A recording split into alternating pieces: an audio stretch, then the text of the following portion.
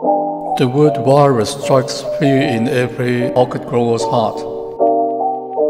I've been lucky because right from the beginning, I did my own things, grew my own seedlings, bought the occasional clones. I almost never received any division from anyone.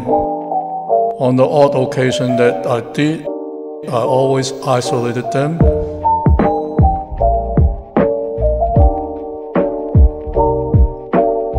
This is one that didn't work out.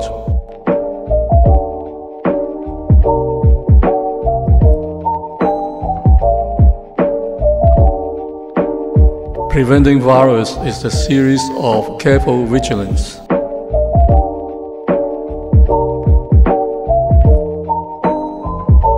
Regular removal of litter from under the benches is the first step. This is my setup for potting and repotting. I use disposable gloves. I made up a metal tray which can be disinfected easily. This is the detergent that I use for disinfection. Just a bit of elbow grease and a brush. So how do viruses transmit? By pests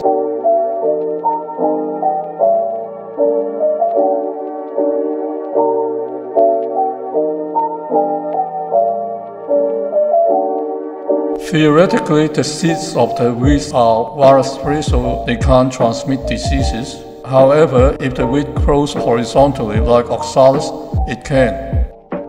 Here are some common ways of transmitting viruses.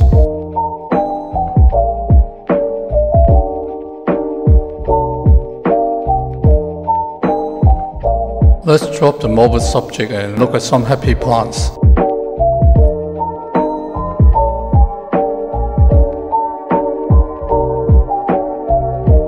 Oh, these are the ones that I potted a few months ago. See how much they have grown.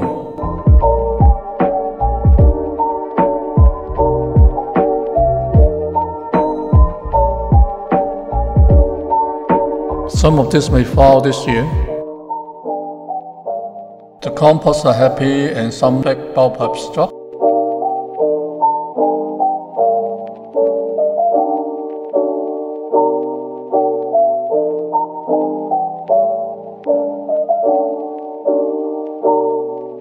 Let's go and see if there are some spikes.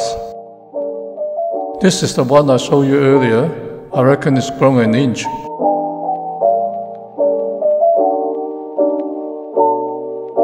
A spike from a seedling in a 5 inch pot. One from a 6 inch pot. This one is a bit skinny.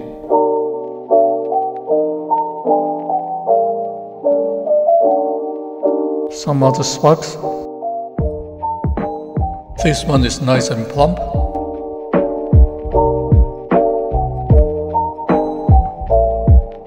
So is this one. I'll keep you posted as to how they progress in coming months.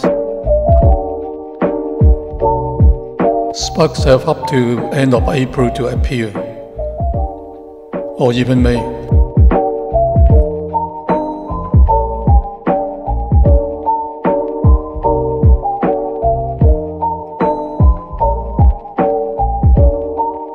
Early spiking is bad. This one won't be any good. All but one bud drop in this one.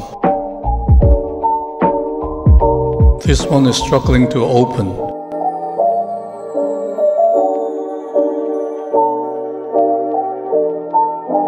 Let's look at some flowers from yesteryears. I don't have many pale colors. This is one of them.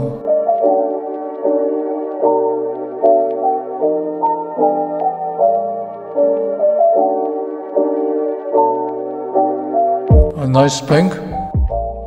Probably obsolete by now.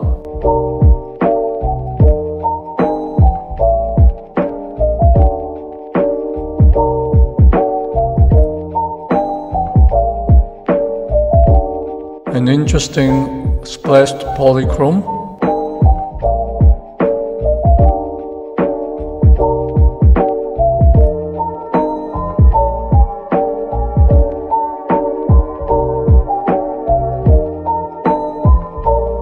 This is my favorite splashed because of the yellow throat